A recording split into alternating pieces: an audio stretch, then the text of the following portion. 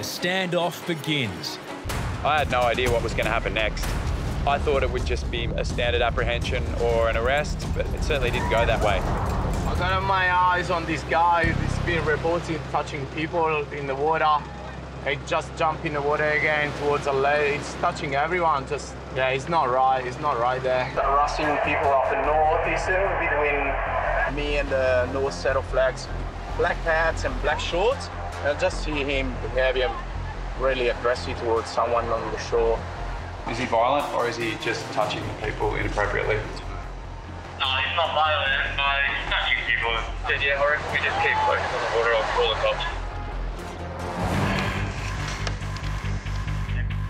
Good afternoon, Juliet. It's Shrimp from the Bondi Lifeguards. How are you? Um, we have a man uh, down here who's inappropriately touching people um, in the water. You know, they pretend to bump into people, and but we've had like numerous, numerous complaints. Within seconds, more reports come in. If your officers want to come to, if you're sending a crew down, if they want to come to the tower, we could point them in his direction.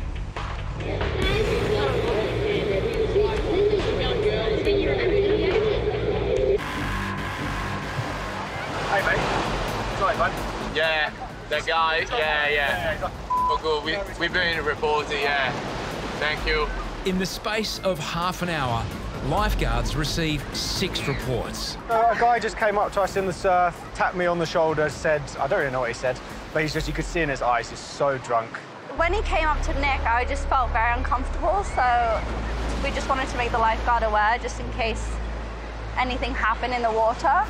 I know what's going to happen. The police are going to come down here and I'm not going to be able to find him. I can't keep eyes on him the whole, you know what I mean? Half an hour until they get here and then in the meantime we've got people drowning.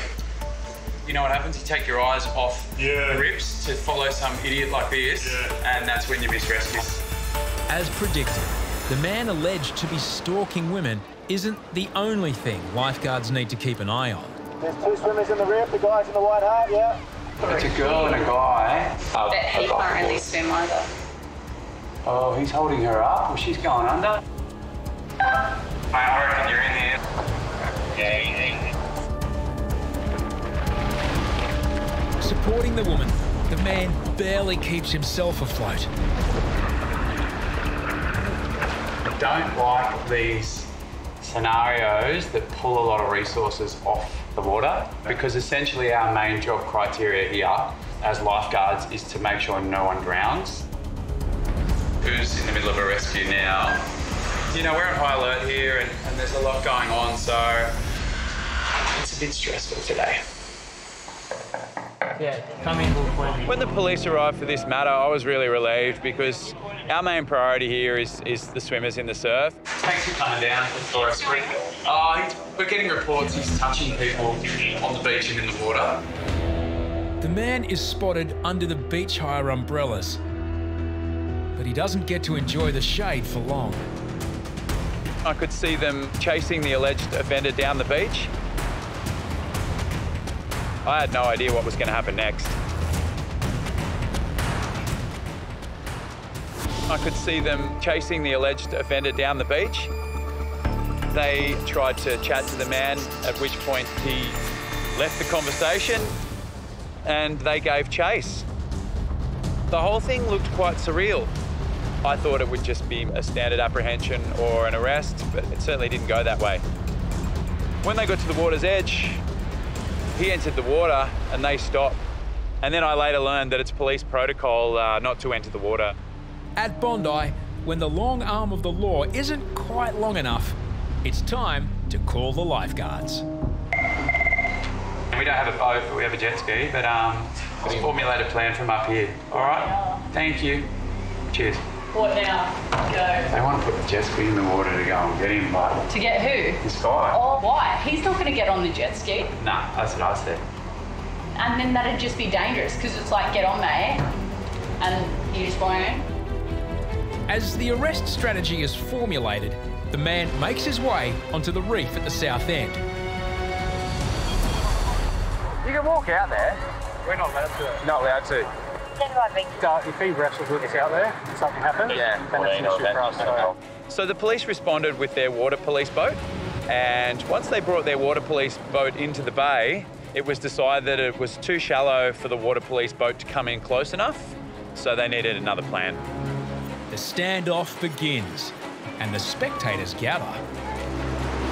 It started to get pretty hectic down there. Before I knew it, Boo and I were, we were in our little yellow buggy and just sort of looking around going, this is like fully escalating, eh? Like, oh my God. If we can, if we can clear this area out, that'll be sweet. No worries, mate. The police have asked us to um, to remove all, all the swimmers from the water. Yes, hello everyone. I need everyone's attention in the water here.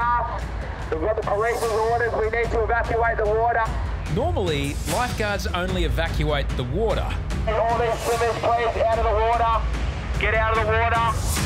During shark sightings. Why is there a shark? No, there's no sharks. Don't say that word on the beach. Everyone gets scared. No, there's no whale. What is it then? I can't tell you. You're seeing a little bit. What's in the water, money? I can't tell you, mate. you, can, you can keep thinking. They got the water police boat out here and old mates here just floundering on the rocks.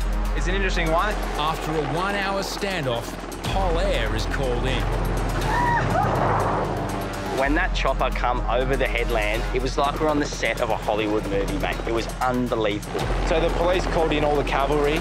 The boat was arriving. There was a helicopter too. It was all happening, and it was something like out of a James Bond movie. After 45 minutes, the lifeguard tower begins to resemble a mobile command centre. A plan is urgently required. Are the water police in, ready to go in the water or not? They're now. So the police and the lifeguards came up with a third plan, and that was to send Beardy out on the jet ski to the police boat, pick up the water police officers, and bring them in to the man on the rocks. The man has now evaded police for over an hour and a half. Beardy's picked up the two water police from the boat. And he's driven into icebergs where this guy's perched up on this random rock. Oh, Such a weird situation. A jet ski, a boat, a helicopter, scores of police, and half a dozen lifeguards. They've just arrested him with force. And uh, before we knew it, we were just sitting there and uh, he was getting marched off the beach, wrist locked with an escort of police. It was, it was quite a full-on scene. After an hour and 45 minutes, the man was arrested and charged with hinder police as well as stalk and intimidate. Never a dull moment.